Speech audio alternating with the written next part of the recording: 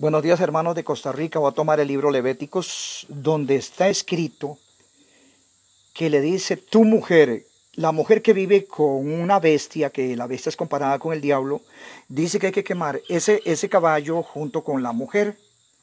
Y la mujer que vive con bestia, con bestia es un perro, eh, una yegua, una cabra, eh, animales salvajes, monos, cuántas mujeres tienen un mono, sépaselo hermana, que si usted ha vivido con esa clase, ha cometido esa clase de pecados, tiene un pasito interitico al infierno.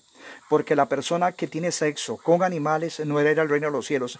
En el Apocalipsis 21, 8 dice que los que cometen abominación, Jesús los va a vomitar, los que practican hechicería y brujería.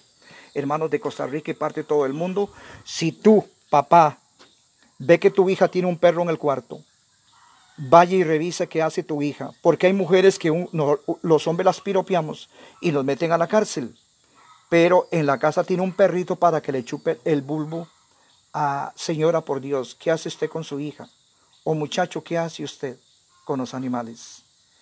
Eh, ponen una ley en Costa Rica que el maltrato animal, pero eso es una maldición. Dice la escritura que la mujer que vivía con una bestia, dice que ese país es maldito por Dios. Dios gomita a la mujer que se mete con un animal o al hombre.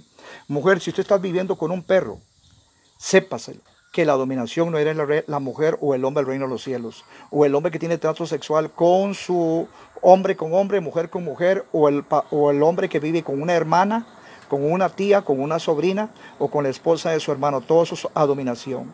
Hermanos de Costa Rica, eh, adorar imágenes es una adominación. ¿Cuántos suegros tiene usted, hermana? Eh, puede tener un yerno que es un perro, un garacho, hermana, hermano de todo el mundo. A veces eh, una mujer mete a un hombre a la cárcel porque la piropea, pero tiene un perro para que le chupe el bulbo. Convertidos y arrepentidos, hermanos.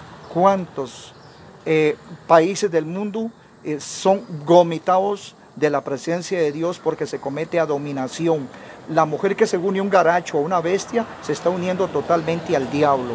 O la mujer que tiene un perro para que le chupe el bulbo. Convertidos y arrepentidos. Hermanos, si tú has caído en ese pecado, lo que el Apocalipsis dice que Dios lo va a echar fuera del reino. Usted sabe lo que es que llegue una mujer a la presencia de Dios, que hay que ir con garachos, con perros, con monos. Eh,